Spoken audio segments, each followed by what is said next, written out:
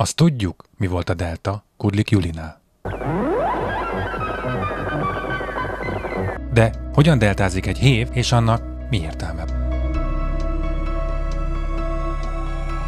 A négy hév vonalon két helyen van lehetőség deltázásra, Szentendrén és Nagyicén. Szentendrén utasforgalomtól elzárt üzemi területen történik a deltázás. Nagyicén a Kerepesi út mellett szinte a kertek között deltázunk, így néz ki madártávlatból.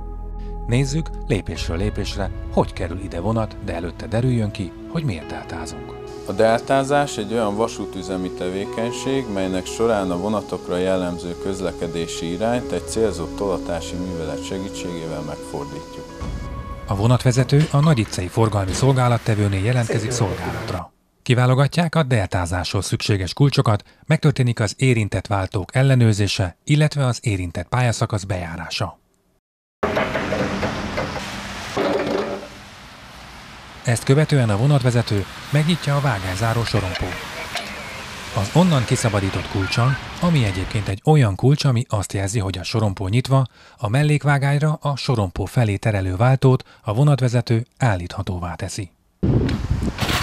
A deltázásra azért van szükség, mert a vonalon található ívek vezetése miatt csak így biztosítható a vonatok nyomkarimáinak egyenletes kopása. Időben végrehajtott deltázás esetén a vonatok kerékpárjai sokkal hosszabb ideig üzemeltethetők biztonságosan. Ahogy a szerelvény a fővágányból a mellékvágányba kihaladt, a váltó ismét állításra kerül egyenes állásba, hiszen hamarosan érkezik a személyvonat.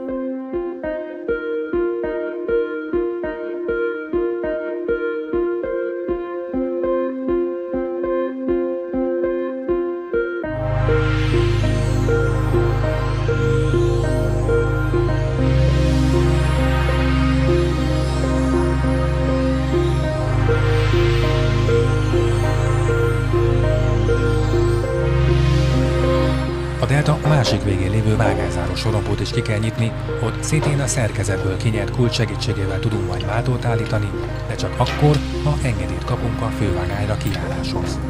Előtte egy másik váltót állítunk, aminek eredményeképpen, ha megindulunk, a vonat vége hirtelen a vonat eleje lesz.